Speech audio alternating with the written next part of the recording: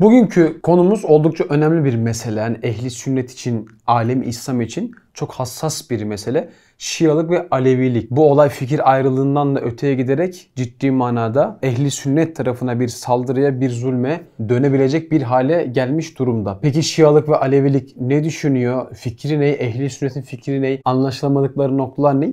Bediüzzaman Hazretleri bu konuyla ilgili o kadar muazzam tespitlerde, o kadar muazzam noktaları parmak basıyor ki yapmış olduğu tespitleri dinlediğimizde insaflı olan herkesin üstadın görüşünü kabul edeceğine inanıyorum. Aleviliğin Şialığın sadece Hazreti Ali'yi sevmek olmadığını anlamış olacağız ki Hazreti Ali'yi biz de seviyoruz. Olay diğer halifelere düşmanlığa kadar ve ehli sünnet düşmanlığa kadar gidebilen büyük bir mesele haline geldi İslam aleminde. Bediüzzaman Hazretleri de bu konuyu iki farklı bölümde ele alıyor. Parça parça okuyacağım. Hepsini okumayacağım. İsteyen açıp hepsini okuyabilir ama belki de bu zamana kadar Şialık, Alevilik konusunda kısa ama bu kadar keskin ve muazzam tespitlerin olduğu bir bölüm okumamış olabiliriz. Ben şahsen okumadım, okuduğumda da hayran kaldım. Şimdi okuyacağım. Hep beraber bu olay hakkında çok daha ayrıntılı bilgi sahibi olmuş olacağız. Şialarla ehli sünnet ve cemaatin medar nizahı hatta akaid-i imani kitaplarına ve esasat-ı imani iman esasları sırasına gelecek derecede büyütülmüş bir meseleye kısaca bir işaret edeceğiz. Bu mesele basit bir mesele değil. Yani iman hakikatleri sırasına kadar yükseltilmiş, büyütülmüş bir mesele. Mesele şudur. Ehli sünnet ve cemaat der ki Hazreti Ali Hulefai Erba'nın dört halifenin dördüncüsüdür. Hazreti Sıddık Ebu Bekir Hazretleri daha eftaldir ve hilafeti daha müstaktır, hakkıdır. En evvel o geçti. Ehli sünnet ve cemaat bunu söyler. Şialar derler ki hak Hazreti Ali'nin idi. Ona haksızlık edildi. Umumundan en eftal Hazreti Ali'ydi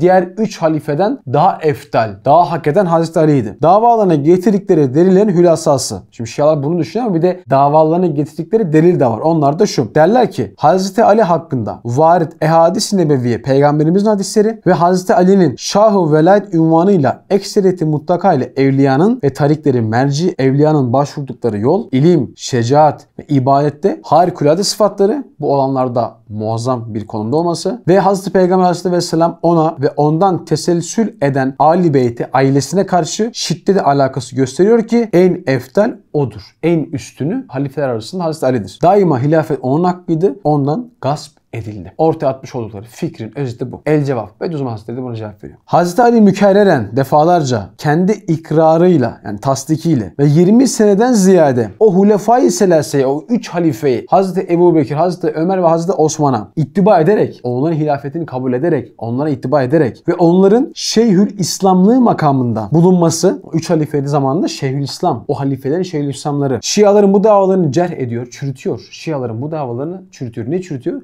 Hazreti Ali'nin 3 halife ittiba etmesi ve onların döneminde Şeyhül İslam olması. Hazreti Ali kabul etmiş. Dolayısıyla Şiaların az önceki iddiasını bu olaylar çürütüyor. Hem Hulefai Selasinin o 3 halifenin zamanı hilafetlerinde fütuhat İslami, İslam'ın fütuhat etmesi ve mücadeleye adan hadisleri, düşmana karşı mücadeleler ve Hazreti Ali'nin zamanındaki vakalar yine hilafeti İslami noktasında Şiaların davalarını cerh ediyor. Demek ehli sünnet ve cemaatin davası haktır. Eğer denilse Şia ikidir. Biri Şia'yı velayet, diğeri Şia hilafettir. Haydi bu ikinci kısım garaz ve siyaset karıştırmasıyla haksız olsun. Yani Şia hilafet da haksız olsun diyelim. Fakat birinci kısımda garaz ve siyaset yok. Halbuki Şia velayet Şia hilafete iltihak etmiş. Yani ehli turuktaki evliyanın bir kısmı Hazreti Ali eftal görüyorlar. Siyaset cihetinde olan Şia hilafetin davalarını tasdik ediyorlar. El cevap. Hazreti Ali'ye iki cihette bakmak gerektir. Bir ciheti şahsi kemalat ve mertebesi noktasında. ikinci ciheti Ali Beyt'in şahsi manevisini temsil ettiği noktada. Hazreti Ali Efendimiz'e iki cihette bakmak gerekiyor. Birinci cihet Hazreti Ali'nin şahsi kemalatı ve mertebesi. İkinci cihet ise Ali Beyt yani Efendimiz Aleyhisselam'ın ailesini temsil makamıyla bakmak lazım. Ali Beyt'in şahsi manevisi ise Resul-i Ekrem Aleyhisselam'ın bir nevi mahiyetini gösteriyor. İşte birinci nokta itibariyle Hazreti Ali başta olarak bütün ehli hakikat Hazreti Ebu Bekir ve Hazreti Ömer'i takdim ediyorlar. Hizmet-i İslamiyet'te ve kurbiyet-i ilahiyede, İslam'a hizmette ve Allah'a yakınlıkta makamlarını daha yüksek görmüşler. İkinci nokta cihetinde ikinci nokta neydi? Efendimiz Aleyhisselam'ın ailesini temsil makamını, Ali Bey'i temsil makamı neydi ya? İkinci nokta cihetinde Hazreti Ali şahsı manevi Ali Beyt'in mümessili ve şahsı manevi Ali Beyt bir hakikati Muhammediye'yi Hazreti Aleyhisselam'ı temsil ettiği cihetle muvazene gelmez. Yani ikinci cihette Hazreti Ali ile kimse muvazene gelmez. Aile temsil ettiğinden dolayı. İşte Hazreti Ali hakkında fevkalade senakeranı överek ehadis-i nebeviye bu ikinci noktaya bakıyor. Efendimiz Aleyhisselam'ın Hazreti Ali'yi övdüğü hadisler Hazreti Ali'nin ikinci cihetine bakıyor. Yani Ali beyti temsil noktasına bakıyor. Aileyi temsil etme noktasına bakıyor. Bu hakikati teyit eden bir rivayeti sahiye var ki Resul-i Ekrem Aleyhisselam ferman etmiş. Her nebinin nesli kendindendir. Benim neslim Ali'nin neslidir. Hazreti Ali'nin şahsı hakkında sair hulefadan, diğer halifelerden ziyade senakerane ehadisin kesret intişarının sırrı şudur ki Efendimiz Aleyhisselam Hazreti Ali'den diğer halifelerin nazaran daha fazla övgüyle bahsetmiş. Ama bunun bir sırrı var. Bunun sırrı şudur ki Emeviler ile hariciler ona haksız hücum ve tenkis ettiklerine mukabil Hazreti Ali döneminde Emeviler ve hariciler Hazreti Ali Efendimiz'e hücum ediyor. Hazreti Ali döneminde inanılmaz fitneli bir dönem var. Çok çok dehşetli bir dönem var. İşte o dönemde Emeviler ve hariciler Hazreti Ali Efendimiz'e hücum ettiklerine mukabil ehli sünnet ve cemaat olan ehli hak onun hakkında rivayatı çok neşettiler. Sair Hulefai Raşid'in diğer 3 halifenin ise öyle tenkit ve tenkise çok maruz kalmadıkları için onlar hakkındaki ehadisin intişarına ihtiyaç görülmedi. Hazreti Ali hakkında Efendimiz Aleyhisselam'ın çok fazla övgü dolu hadisleri intişar etmiş. Çok fazla yayılmış. Çünkü Hazreti Ali dönemi çok dehşetli bir dönem. Çok fitneli bir dönem. Dolayısıyla ehli sünnet Hazreti Ali Efendimiz'e mücadele edilmesin diye çok fazla Efendimiz o hadislerini üstadımızın demesiyle de çok fazla ortaya çıkartıyor. Yani Hazreti Ali'ye karşı olmayın diye. Hem istikbalde Hazreti Ali elim hadisada acı hadiselere ve dahili içerideki fitnelere maruz kalacağı nazarı müvvette görmüş. Hazreti Ali meyusiyetten ve ümmetini onun hakkında suizanla kurtarmak için ben kimin efendisiysem Ali de onun efendisidir gibi mühim hadiselerle Ali'yi teselli ve ümmeti irşat etmiştir. Efendimiz Aleyhisselam Hazreti Ali'nin içinde olacağı o elim hadiseleri nübüvvet nazarıyla görüyor. Ve Ali Efendimizle ilgili bu tarz övgü dolu hadisleri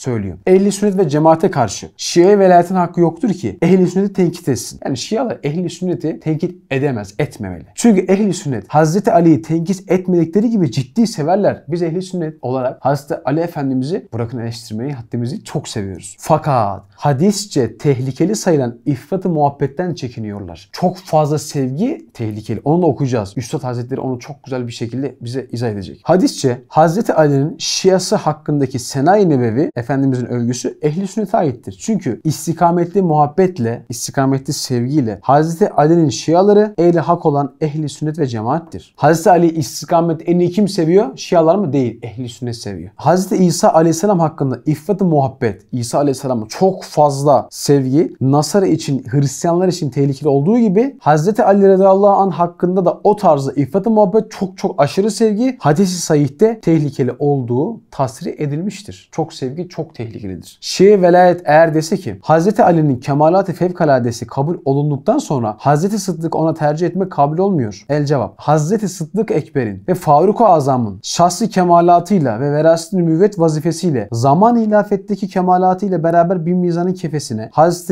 Ali'nin şahsi kemalat harikasıyla hilafet zamanındaki dahili bil mecburiye girdiği elin vakalardan gelen ve suizanlara maruz olan hilafet mücadeleleri beraber mizanın diğer kefesine bırakılsa elbette Hazreti Sıddık'ın veyahut Faruk'un Hazreti Ömer'in veyahut Zinnureyn'in yani Hazreti Osman'ın kefesi ağır geldi. Ehli sünnet görmüş ve tercih etmiş. Şia hilafet. Ehli sünnet ve cemaate karşı mahcubiyetinden başka hiçbir hakları yoktur. Hani Şialar ehli sünnete karşı bir saldırı içinde ya öyle bir hakları yok. Mahcubiyetten başka hakları yok. Mahcup bile olmalarmış. Neden? Çünkü bunlar Hazreti Ali'yi fevkalade sevmek davasında oldukları halde tenkis ediyorlar. Ve suyu ahlakta bulunduğunu onların mezhepleri iktiza ediyor. Bakın burası mükemmel bir tespit. Şialar Hazreti Ali'yi çok sevdiğini söylüyor ama Hazreti Ali'yi tenkis ediyorlar. Ve suyu ahlakta bulunduğunu o Şiaların mezhebi iktiza ediyor. Neden? Çok güzel bir yer geliyor. Çünkü diyorlar ki Hazreti Sıddık ile Hazreti Ömer haksız oldukları halde Hazreti Ali onlara mümaşat etmiş. Şiye istilahınca takiye etmiş. Yani onlardan korkmuş, riyakarlık etmiş. Hazreti Ebu Bekir, Hazreti Ömer haşa haksızlık etti diyorlar ya. Hazreti Ali ne yapmış? Ses çıkarmamış. Onların demesiyle mümaşa etmiş. Onlardan korkmuş, riyakarlık etmiş. Acaba böyle kahraman İslam, İslam kahramanı ve Esedullah ünvanını kazanan çok cesaretli bir zat Hazreti Ali. Esedullah ünvanı, Allah'ın aslanı ünvanını kazanan ve sıddıkların kumandanı ve rehberi olan bir zatı riyakar ve korkaklık ile ve sevmediği zatlara tasannukerane yapmacık bir şekilde muhabbet, sevgi göstermekle ve 20 seneden ziyade 20 seneden fazla haf altında, korku altında mümaşat etmekle haksızlara tebaiyeti kabul etmekle muttasif görmek ona muhabbet değildir. O çeşit muhabbetten Hazreti Ali teberri eder. İşte ehl hakkın mezhebi hiçbir cihette Hazreti Ali tenkis etmez. Suyu ahlak ile itham etmez ama şialar ediyor. Öyle bir harika şecaatle korkaklı isnat etmez. Ve derler Hazreti Ali Hulefai Raşid'in hak görmeseydi bak Hazreti Ali kendinden önceki 3 halife hak görmeseydi bir dakika tanımaz ve itaat etmezdi. Demek ki onları haklı ve raci gördüğü için gayret ve şecaatin hakperestlik yoluna teslim etmiş. Abi mükemmel bir tespit ya. Şu paragraf gerçekten olayı bitiriyor. Şu paragrafı okumak bile yeterli. Allah'ın aslanı ünvanını alan bir zatta korku olur mu Hazreti Ali'de? Olmaz. Haksızlığa susar mı? Susmaz. Şialar ne diyor? Haksızlık yaptılar. Hakkını yediler diyor. Ama Hazreti Ali 3 halifeye de Şeyhülislamlık yapıyor. Onlara ittiba ediyor. Onların kumandanlığını yapıyor. Yani onlar Hazreti Ali'ye korktu. 20 küsür sene boyunca sustu. Yapmacıklık yaptı demiş oluyorlar. Ama Ehli Sünnet vel Cemaat öyle düşünmüyor ki Üstad çok güzel bir şekilde yazdı. Diyor ki Hazreti Ali Hulefai Raşidini diğer halifeler hak görmeseydi bir dakika tanımaz ve itaat etmezdi. Demek ki onları haklı ve racı gördüğü için gayret ve şecaatini hak perestlik yoluna teslim etmiş. İşte ehli sünnet vel cemaatin ne kadar hak olduğunun bir göstergesi daha. Elhasıl her şeyin ifrat ve tefriti iyi değildir. İstikamet ise hattı vasattır, orta yoldur. Ehli sünnet ve cemaat onu ihtiyar etmiş. Ehli sünnet ve cemaat orta yolu seçmiş, hattı vasatı seçmiş. Fakat Maat Yusuf ehli sünnet ve cemaat perdesi altında Vahabilik ve haricilik fikri kısmen girdiği gibi siyaset meftunları ve bir kısım mülhitler Hazreti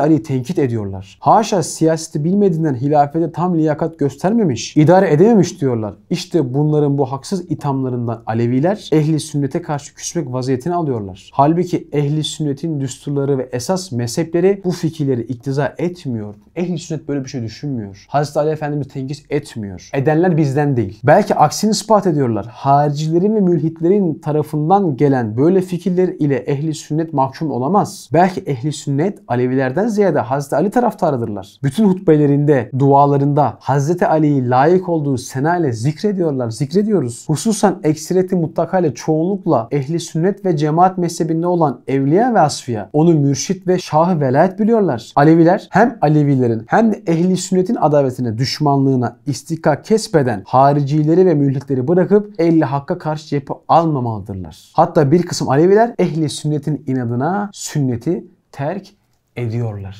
Üstad Hazretleri daha da uzun uzun anlatıyor. Başka bir bölüm daha var orayı da okuyacağım. Bu konuda muazzam tespit yapıyor. Gerçekten vicdanı çürümemiş bir kişi şu bölümü okusa evet gerçekten Bediüzzaman doğru söylüyor, hak söylüyor der. Başka bir bölümde Üstad Hazretleri bu konuyla ilgili yine farklı pencereden çok güzel bir tespit yapıyor. Bir mühim sual vardır. Denilir ki Hazreti Ali o derece hilafete layık olduğu ve Resul-i Ekrem Aleyhisselam'a karabeti ve harikulade cesaret ve ilmiyle beraber neden hilafete tekaddüm ettirilmedi? Neden onun hilafeti zamanında İslam çok keşmekeşe mazhar oldu? Hilafet Hazreti Ali'nin hakkıydı. Hem Efendimiz'e yakınlığı ilimde, cesarette üstün olması Hazreti Ali'nin hak ettiğini gösteriyor diye bir soru geliyor. Bediüzzaman cevap veriyor. El cevap. Ali Beyt'ten bir kutbu azam demiş ki Efendimiz Aleyhisselatü Vesselam'ın ailesinden soyundan bir kutbu azam demiş ki Resul-i Ekrem Aleyhisselatü Vesselam Hazreti Ali'nin radıyallahu anh hilafetini arzu etmiş. Bak Efendimiz Aleyhisselam Hazreti Ali'nin hilafetini arzu etmiş. Fakat gayipten ona bildirilmiş. Muradı ilahi başkadır. Efendimizin isteği Hazreti Ali'nin hilafete geçmesi ama Allah'ın muradı, Allah'ın isteği başkaymış. O da arzusunu bırakıp muradı ilahiye tabi olmuş. Efendimiz Aleyhisselam da gayipten aldığı bu haberden dolayı Allah'ın isteğine olayı bırakmış. Murad-ı ilahinin hikmetlerinden birisi şu olmak gerektir ki vefat-ı nebeviden sonra en ziyade ittifak ve ittihada gelmeye muhtaç olan sahabeler eğer Hazreti Ali başa geçseydi Hazreti Ali'nin hilafeti zamanında zuhura gelen hadisatın şehadetiyle ve Hazreti Ali'nin mümaşatsız, pervasız, zahidane, kahramane, müstaniyane tavrı ve şöhret giri alem şecaati itibariyle çok zatlarda ve kabilelerde rekabet damarını harekete getirip tefrika sebep olmak kaviye muhtemeldi. Hem Hazreti Ali'nin hilafetinin tehür etmesinin bir sırrı da şudur ki gayet muhtelif akvamın, gayet çeşitli kavimlerin birbirine karışmasıyla Peygamber Aleyhisselam'ın haber verdiği gibi sonra inkişaf eden 73 fırka efkarın, fikirlerin esasını taşıyan o akvam içinde, kavim içinde fitne engiz hadisatın zuhuru zamanında çok ciddi fitneler meydana geliyor Hazreti Ali zamanında. Yani açıp bakın İslam tarihine dehşetli bir dönem. Hazreti Ali'nin hilafeti zamanı. Fitne engiz hadiselerin zuhuru zamanında Hazreti Ali gibi harikulade bir cesaret ve feraset sahibi Haşimi ve Ali Beyt gibi Efendimizin ailesinden olması hasebiyle kuvvetli, hürmetli bir kuvvet lazım idi ki dayanabilsin ve dayandı. Hazreti Ali döneminde çıkan fitnelere Hazreti Ali Efendimiz dayanabilirdi. O cesaretle, o ilimle, o kuvvetle. Resul-i Ekrem Aleyhisselam'ın haber verdiği gibi ben Kur'an'ın tenzili için harp ettim. Sen de tevili için harp edeceksin. Gerçekten de bunun için harp ettin. Hem eğer Hazreti Ali olmasaydı dünya saltanatı Mülük-ü Emevi'yi, Emevi devletini bütün bütün yoldan çıkarmak muhtemeldi. Halbuki karşılarında Hazreti Ali, Ali Beyti, Efendimiz Aleyhisselatü Vesselam'ın ailesinin temsilini gördükleri için onlara karşı muvazaneye gelmek ve ehli İslam nazarında mevkilerini muhafaza etmek ister istemez Emeviye devleti reislerinin umumu hepsi kendileri olmasa da herhalde teşvik ve tasvipleriyle etbaları ve taraftarları bütün kuvvetleriyle Hakaki İslamiye'ye ve Hakaki İmaniye'ye ve Ahkam-ı Kur'aniye'yi muhafazaya ve neşre çalıştılar. Hazreti Ali olmasa belki de Emeviye devleti iyice yoldan sapacaktı. Yüz binlerle müştehit muhakkikin ve muhaddisin kamilin ve evliyalar ve yetiştirdiler. Eğer karşılarında Ali Beyt'in gayet kuvvetli velayet ve diyanet ve kemalatı olmasaydı ki az önce okumuştuk. Hazreti Ali Efendimizin bir rolü de Efendimiz Aleyhisselam'ın ailesini temsil etmesiydi. Eğer karşılarında Ali Beyt'in gayet kuvvetli velayet ve diyanet ve kemalat olmasaydı Abbasilerin ve Emevilerin ahilerindeki gibi bütün bütün çığırdan çıkmak kaviyen muhtemeldi. Yani Hazreti Ali Efendimizin dördüncü halife olması haşa eksiklik değil. Tam aksine o dönemdeki dehşet engiz fitneleri ancak Hazreti Ali gibi ilimde, cesarette, kuvvette bir zat kaldırabilirdi ki murad-ı ilahinin isteklerinin hikmetlerinden biri de buymuş. Peki Hazreti Ali'yi sevmeyecek miyiz? Veya sevmede ölçü ne olacak ya? Üstad Hazretleri az önce dedi ya sevmede muhabbette ifrat da çok tehlikeli. Hadiste bunu biliyoruz. Ehl-i sünnet ne yapıyor? Vasatı seçiyor. Vasat dediğimiz şey orta istikamet yol. Sevginin bir ifratı var, çok fazlası var. Bir tefriti var. Yani sevmeme, düşmanlığa dönme var.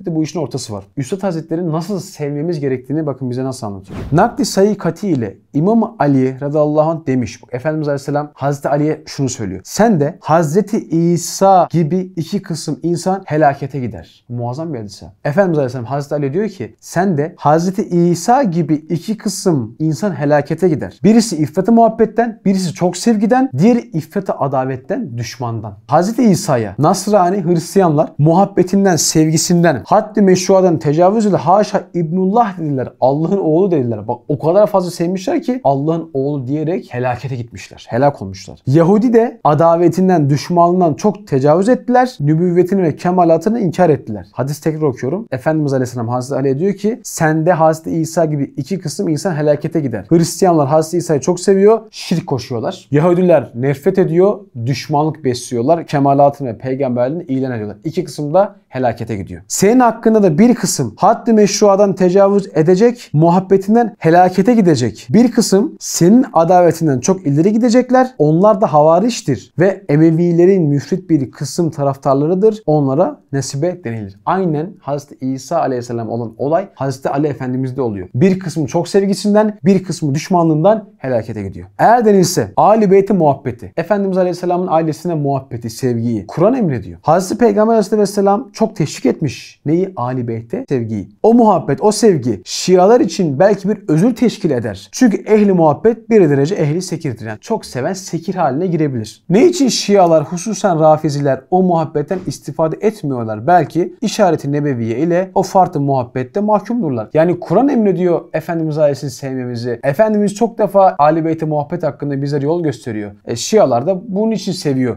gibi bir soru geliyor. El cevap. Muhabbet iki kısımdır. Bakın sevgi iki türlüdür, iki kısımdır. Biri manayı harfiyle. Asıl sevgi budur. Yani Resul-i Ekrem Aleyhisselam'ın hesabına, Cenab-ı Hak namına, Hazreti Ali ile Hasan ve Hüseyin ve Ali Beyt'i sevmektir. Hazreti Ali biz neyi seviyoruz? Allah namına. Neyi seviyoruz? Efendimiz Aleyhisselam'ın namını seviyoruz. Rabbimiz ve Efendimiz Aleyhisselam asıl sevmemizin kaynağı iki zat. Şu muhabbet Resul-i Ekrem Aleyhisselam'ın muhabbetini ziyadeleştir. Bak Hazreti Ali'ye bu cihette muhabbet Efendimiz Aleyhisselam'ın namıyla sevmek, Allah namıyla sevmek Efendimiz Aleyhisselam'a da muhabbetini ziyadeleştiriyor. Cenab-ı Hakk'ın muhabbetine vesile oluyor. Şu muhabbet meşrudur. İffet'e zarar vermez, tecavüz etmez. Başkalarının zemmini ve adavetini iktiza etmez. Bu muhabbet meşrudur ve başkaları da düşmanlık gerektirmez. İkincisi ise ki Şiaların ve Alevilerin yapmış olduğu hata manayı ismiyle muhabbettir. Yani bizzat onları sever. Hazreti Peygamber Aleyhisselam'ı düşünmeden Hazreti Ali'nin kahramanlıklarını ve kemalini ve Hazreti Hasan ve Hüseyin'in yüksek faziletlerini düşünüp sever. Hatta Allah'ı bilmese de peygamberi tanımasa da yine onları sever. Bu sevmek Resul-i Ekrem Aleyhisselam'ın muhabbetine ve Cenab-ı Hakk'ın muhabbetine sebebiyet vermez. Hem ifrat olsa başkalarının zemmini ve adaletini iktiza eder. İfrat olsa ki oluyor Hazreti Ali dışındakilere düşmanlık besliyorlar. İşte işaret-i nebeviye ile Efendimiz Aleyhisselam'ın işaretiyle Hazreti Ali hakkında ziyade muhabbetlerinden Hazreti Ebu Bekir Sıddık ile Hazreti Ömer'den teberri ettiklerinden hasarete düşmüşler. Ve o menfi muhabbet sebebi hasarettir.